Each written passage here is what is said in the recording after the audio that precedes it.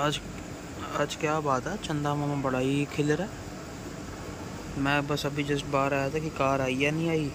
Scooty तो खड़ी है, खैर, बस गाड़ी पे चलेंगे यार गुरुद्वारे साहब।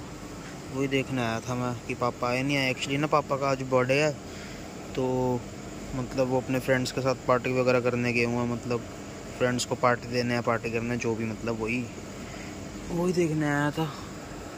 हाँ फोकस कर फोकस शाबाश। चंदा ममाज खुश हैं। Moon light is feeling so happy खैर, कोई नहीं, चलो जब आएँगे फिर तब चलते हैं हम गुरुद्वारे। तो गई सस्सी ना स्कूटी से आगे से गुरुद्वारा सब, क्योंकि मैं फादर ने अपने कॉल किया एक्चुअली वो है ने करनाल। ने फ्रेंड्स ने उधर साइड मतलब केक वगैरह अपना कट कर दे इंजॉय कर दे हुए मेरे सामने ना मतलब एक गड्डी खड़ी है। मैं संत जरनैल सिंह खालसा जिन पिंडर वाले मंदा ना संतां जिन मैं मंदा इन्नी शानदार गड्डी मैं उन्हें कैमरा घुमाऊँगा तो तुम देखना हाइट तो बड़ी उच्ची है इस गड्डी की सेम मतलब जी वैगन की तरफ़ इन मॉडिफाई कराया पाया मैं तुम्हें दिखाता एक सेकेंड खड़ी पी है साड़ी स्कूटी ठीक है ए देखो हाइट देखो इस गड्डी की मतलब मेरा हाथ मतलब इन्नी अच्छी गड्डी है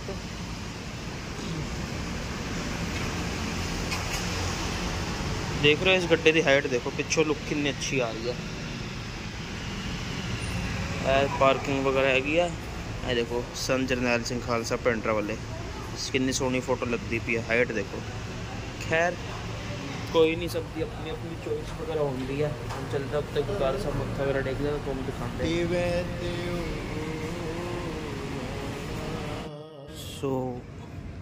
सो खालसा जी ਅਸੀਂ ਗੁਰਦੁਆਰਾ ਸਾਹਿਬ ਵਗੈਰਾ ਮੱਥਾ ਟੇਕ ਲਿੱਤਾ ਹੁਣ ਅੰਦਰੋਂ ਅਸੀਂ ਚੱਲਦੇ ਹਾਂ ਰਕਾਬਗੰਜ ਸਾਹਿਬ ਸਿੱਧਾ ਬਾਕੀ ਸੰਗਤ ਇਕੱਠ ਹੈਗੀ ਗੁਰਦੁਆਰੇ ਇਸ ਕਰਕੇ बाकी चलते हैं सिद्धा तो गाइस हम रकाबगंज साहब नहीं जा रहे क्योंकि मेरे को ना सुबह जल्दी उठना है मेरे को कोई काम है इस करके तो अभी रात के बज रहे हैं ढाई प्रकाश वगैरह हमने बाबा जी का सब देख लिया अब सीधे यहाँ से चलते हैं घर और सोते हैं जाके, क्योंकि सुबह मेरे को जल्दी उठना है इस करके, वरना फिर मैं वही दोपहर को तीन चार बजे उठ पाऊँगा। लेजी बना रहूँगा इस करके।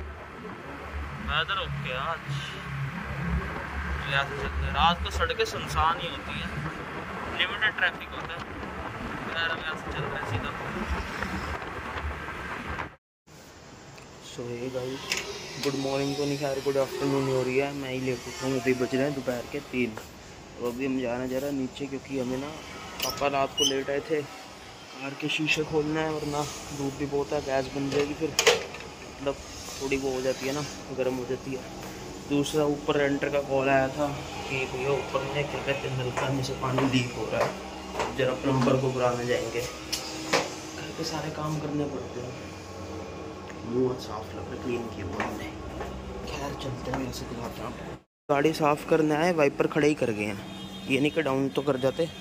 टाइगर गर्मी के हिसाब से हमारी तो हालत ख़राब होती, कुत्तों की अलग हालत ख़राब होती है अब क्या ही बोलें। आपको मैं बता नहीं सकता, इतनी गर्म हुई है ना गाड़ी, इतनी गर्म हुई, जो गेयर बॉक्स वाला ये नहीं तो इतना गर्म हुआ है ना, ये क्या ही बोले, और गाड़ी हमारी बड़ी गंदी हुई है अंदर से। सोच रहा हूँ उसको वॉशिंग और सर्विस वगैरह कराई आता हूँ फ्री तो हुई मैं अभी। कोई नहीं, आधा एक घंटा जिसी के नाम पर लगाते हैं।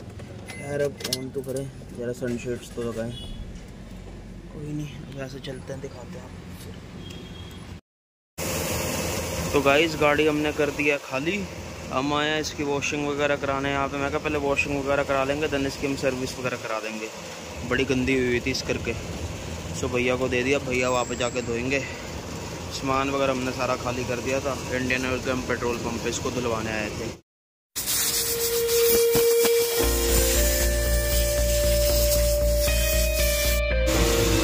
तो ये वैक्यूम से सारी साफ़ होने लग गई है हमारी गाड़ी। भैया कह रहे इतने मैट क्यों बिछाए हुए हैं।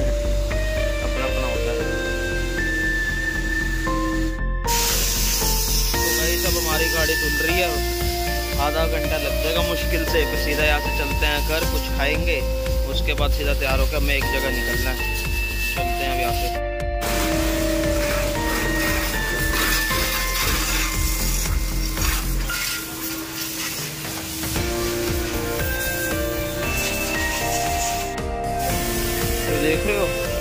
जाती है तो तो बाद गड्डी बस जो मैट वगैरह सब तो बुझते पे ने उसके बाद सीधा चलते हैं आपको तो भाई इसमें वहाँ से कुछ सो गया था जस्ट अभी उठा था तो ज़रा हम नीचे अपने डॉग को घुमाने जा रहे हैं फिर आपको दिखा रहे हैं साथ में पार्क लेके जा रहे हैं सो तो मेरे अपना हेड गर्म कर दिया था गर्मी इतनी है इस की कार वगैरह हमने वॉश वगैरह करा दी थी थोड़ा घर का भी कुछ सामान भी लेके आना है जैसे टेबल मेरा स्टडी टेबल वगैरह स्टडी टेबल नहीं मतलब मेरा टिंग टेबल लगा लो जो भी है। इसका सामान वगैरह आएँगे, फिर आपको दिखाते हैं। चलना घूमी घूमी देख रहे हो? सब सुनता ही है। सब। चला पट्टा बहन चलो। आओ, आजा। आस्ता चल, नोड़ी आस्ता चलो। बारिश आएगी। मौसम बन चुका है बारिश का। चलते हैं, अब हम इसको घुमा रहे हैं नीचे। कश्मीरी पार्क लेके जा रहे हैं। तो ये देख रहे हो गाइस अभी हमने, बस अभी हमने घर का ज़रा सामान वगैरह लिया। पहले मम्मी का फ़ोन आया कि दूध वगैरह ले दूध वगैरह सब ले लिया। उसके बाद कह रही कि सारी सब्ज़ी वगैरह ले लो और मम्मी कह रही टमाटर लो तो मैंने टमाटर पूछा, अभी कह रहा दो सौ सत्तर रुपये किलो लिए नहीं भाई, कोई नहीं, बिना सब्ज़ी के खा लेंगे। टमाटर क्यों डाले भाई, दो सौ सत्तर रुपये किलो? कोई नहीं खाया ये सामान वगैरह अब ले लिया। अब ऐसे तक घर देते हैं। घर के पास ही हमारी मार्केट है।